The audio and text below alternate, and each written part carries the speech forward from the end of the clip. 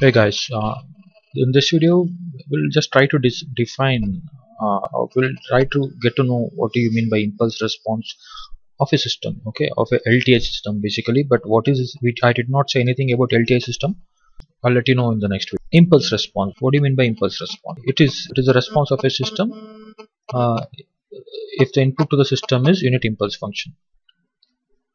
Uh, when I say response of a system it is nothing but system output okay system output y of n. Response of a system is nothing but system output.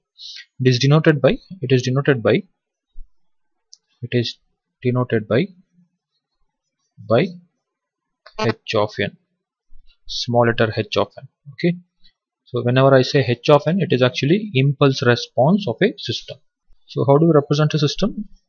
A system is just some transformation and input to that system we are feeding as x of n and output is output from that system is y of n right?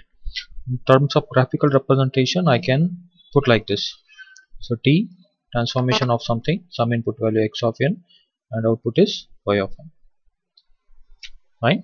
Now so it is the response of a system. If the input to the system is a unit impulse function so what I do instead of feeding I mean as an input to the system so I feed delta of n I'm feeding delta of n which is unit impulse function to the system.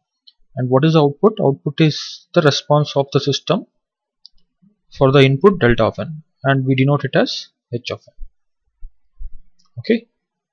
So it is whenever I feed delta of n to the system the output what we get is h of n. And what is h of n? It is the impulse response of a system. Okay? So I can even write it as transformation of delta of n is equal to h of n.